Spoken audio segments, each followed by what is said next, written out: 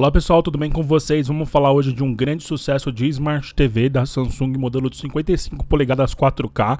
Ela está em promoção no momento que estou gravando esse vídeo, então dá uma conferida aí nos links da descrição. A gente sempre faz uma pesquisa de preço para tentar achar os preços mais baratinhos do Brasil e poder deixar os links de referência para vocês aqui na descrição. Pessoal, quem quiser só acessar. Muitas pessoas não sabem, mas a Samsung é uma das maiores fabricantes de tela do mundo.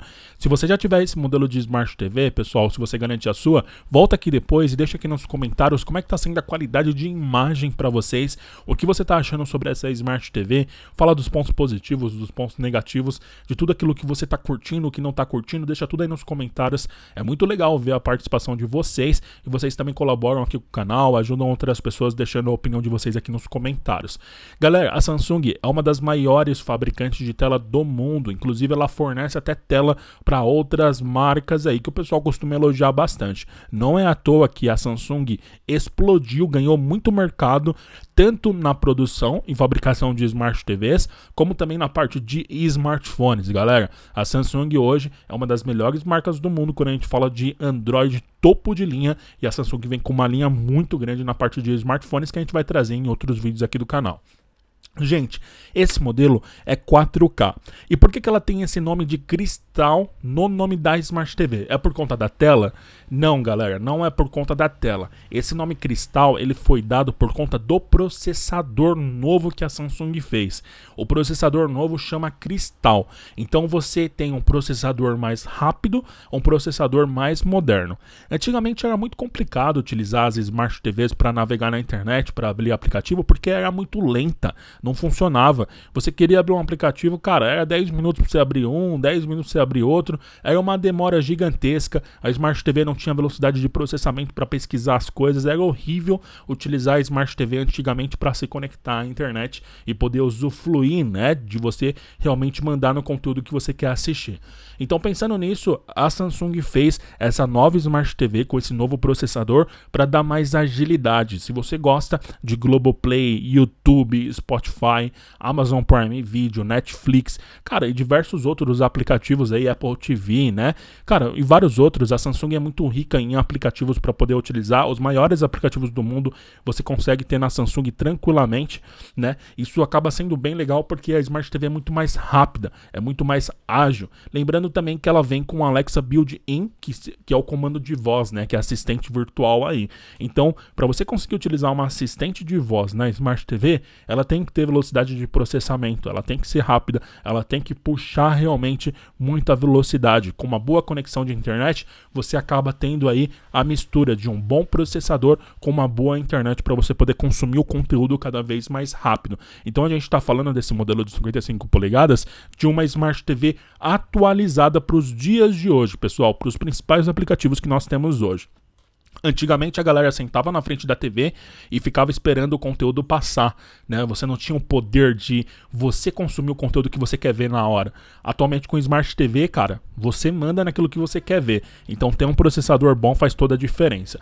Ela faz parte da categoria de bordas infinitas também, isso é muito bom. Eu curto bastante a estética, o visual da Samsung. Ela vem com aqueles dois pezinhos na lateral que é nota 10, bem melhor do que aquelas Smart TVs que tem a base central. Aquela base central central, pessoal, quando você deixava com o passar do tempo, começava a ficar meio bambo, meio molenga, a Smart TV começa a balançar e muitas pessoas quebram tela de Smart TV na hora que está tirando da caixa e na hora que está colocando o cabo atrás. Então, você tem uma Smart TV que fica mais estabilizada, cara, isso daí é fundamental. E eu curto também deixar a Smart TV sempre no suporte, seja no painel, na parede, naqueles suportes universais, onde você pode até angular, puxar a Smart TV para frente, conectar um cabo, devolver a Smart TV. Então, isso acaba sendo muito, muito melhor. Fixar a Smart TV na parede, na minha opinião, vale sempre muito a pena, mas tem gente que gosta de deixar em cima do rack. Então, esses dois pezinhos, um de cada lado, faz total diferença.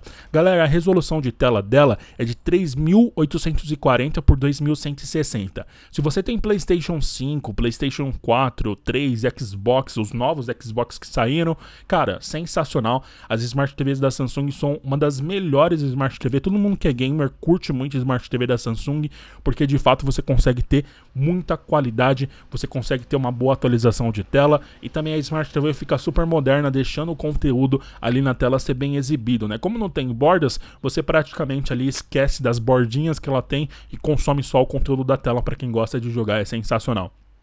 Outra coisa muito boa também para eventos esportivos, galera. Essa Smart TV você vai contar com HDR10, ela tem um HDR Premium, ela tem o Dolby Atmos, o Dolby Digital Plus, né, na parte de áudio.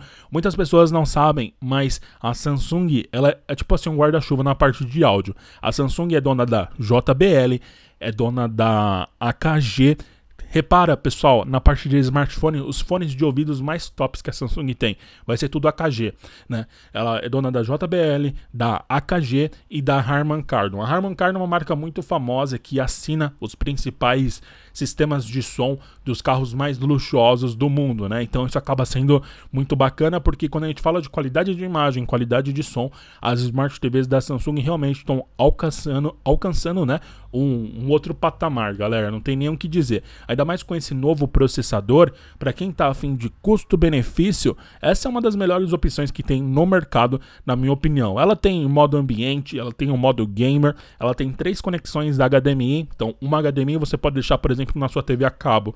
A outra HDMI você coloca no seu videogame. E a outra HDMI você coloca no seu notebook, por exemplo. E aí, através do controle, você chama na tela a imagem que você quer ver. Se é da TV, se é do videogame ou do notebook.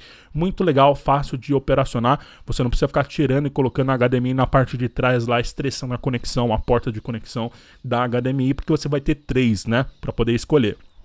Uma outra coisa muito boa também é que ela tem duas entradas USB. Muita gente não sabe para que utilizar o USB, né? Mas galera, você pode colocar um pendrive ali se você tiver alguns documentos, algum arquivo que você queira ver direto na Smart TV.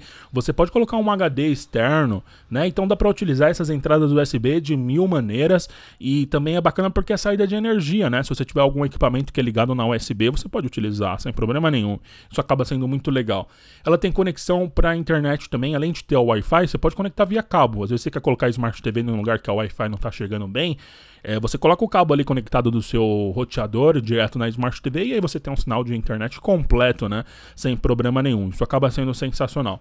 Então, galera, é isso. Atualmente é um dos melhores custos-benefícios que tem no Brasil para quem gosta de economia, que é uma Smart TV grande de 55 e 4K. Na minha opinião, hoje em dia é um dos melhores modelos que tem disponível aqui no Brasil. Lembrando também que ela tem, além da assistente virtual, ela faz parte da categoria visual livre de cabos. Então, a parte estética da Smart TV, para quem valoriza muito, né, deixar a sala com uma, um, um, ambiente mais aconchegante, assim, mais bonito, cara, é sensacional, não tem nem o que dizer em relação a isso. Então aproveita para deixar o seu like, se inscreve, ativa o sininho e compartilha também esse vídeo nas suas redes sociais, beleza?